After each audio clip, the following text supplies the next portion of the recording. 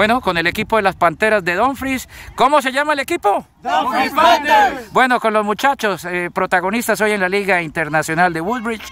Le ganaron 3 a 0 al Corinto. Elegimos a Navarrete como la figura. Felicitaciones, Navarrete. El aplauso para el protagonista.